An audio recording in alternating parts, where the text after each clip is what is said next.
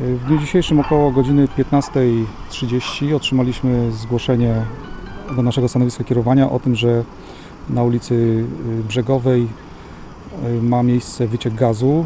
W trakcie dojazdu dyżurny uściślił informację, że jest to związane z uszkodzeniem instalacji gazowej poza budynkiem.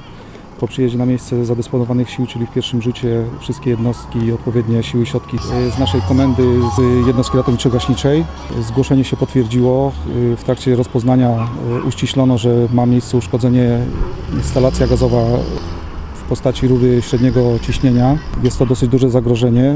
Cały czas ono jest obecne na miejscu tutaj akcji, pomimo tego, że wizualnie widać, że strażacy i inne służby, które są tutaj nic nie robią, nie, cały czas trwają ustalenia najlepszego podjęcia odpowiednich działań. W momencie uzyskania tych informacji, że to jest istotne zagrożenie, że wyciek gazu jest znaczny, czyli praktycznie y, całą, może nie szerokością rury, ale otworem o kilkudziesięciu centymetrach przekroju. Ten wyciek następował dosyć intensywnie. Jest, są lekkie porywy wiatru, które ten gaz nam rozprzestrzeniają w okolicy, czyli nie ma już tej stężenia wybuchowego. Z uwagi na znaczną średnicę tej rury y, została podjęta decyzja o ewakuacji okolicznych budynków. W udziale z kolegami z policji ewakuowano około 47 do 50 osób. Część z tych osób racji sąsiedztwa budynku komunalnego, w którym jest dosyć znaczna liczba osób niepełnosprawnych ruchowo, y, przy pomocy strażaków obecnie przebywają w sprawionym namiocie ewakuacyjnym. Y, Są tam również zabezpieczeni przez spór pogotowia ratunkowego. Obecnie Straż Pożarna swoje działania, oczywiście siły i środki w miarę potwierdzenia zagrożenia zostały zwiększone.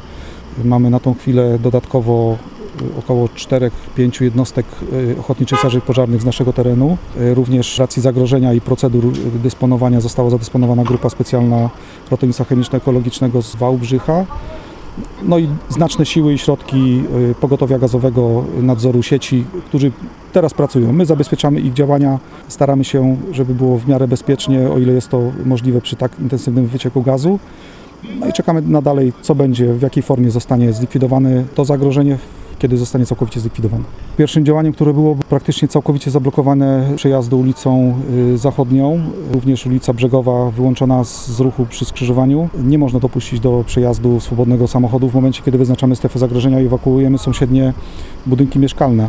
Także to jest standardowa procedura no, utrudniająca znacznie poruszanie się w obecnych, w obecnych warunkach w mieście.